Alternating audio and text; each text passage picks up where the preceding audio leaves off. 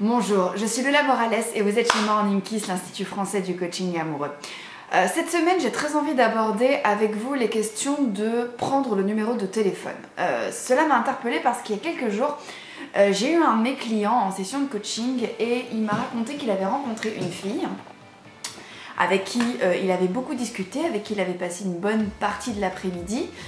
il s'était retrouvé avec elle en rendez-vous instantané suite à une manifestation. Et en fait, quand je lui ai demandé s'il avait pris ses coordonnées et comment est-ce qu'il avait pris ses coordonnées, il m'a dit qu'il n'avait pas osé le faire. J'ai trouvé ça extrêmement dommage pour une simple bonne raison, euh, c'est qu'il avait toutes ses chances.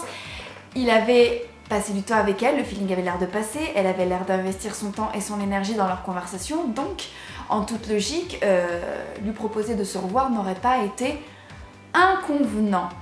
Et euh, cela m'a donné envie de vous transmettre un message et euh, à répondre à cette question. Quand est-ce que vous devez prendre le numéro de téléphone ou quand est-ce que vous pouvez prendre le numéro de téléphone d'une fille?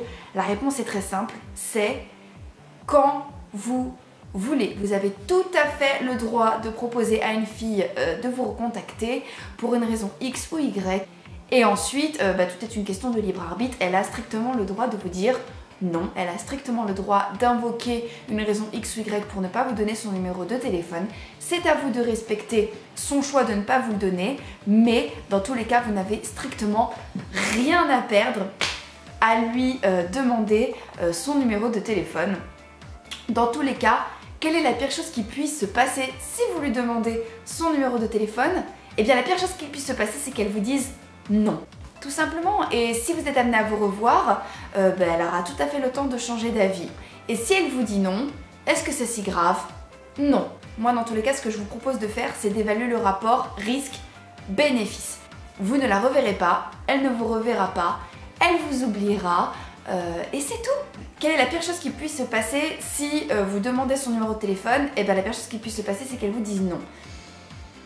Et à ce moment-là, bah, tout simplement, vous ne la recontacterez pas, vous ne la reverrez pas. Quel est le bénéfice à euh, lui proposer euh, de vous revoir et à lui demander son numéro de téléphone? C'est qu'elle vous le donne et puis vous allez vous revoir et vous allez vous donner l'opportunité d'apprendre à vous connaître et peut-être même de mettre en place une relation. Donc, la conclusion de cette petite vidéo, c'est si vous avez envie de prendre le numéro de téléphone d'une fille, vous avez beaucoup plus intérêt à le prendre qu'à vous empêcher de le prendre sachant que euh, si... Euh, sachant que si vous ne prenez pas le numéro de téléphone d'une fille, vous avez beaucoup plus de chances de le regretter et de vous torturer l'esprit pendant plusieurs semaines en vous demandant euh, pourquoi est-ce que vous ne l'avez pas fait et à y repenser en vous disant que vous auriez dû le faire. Voilà.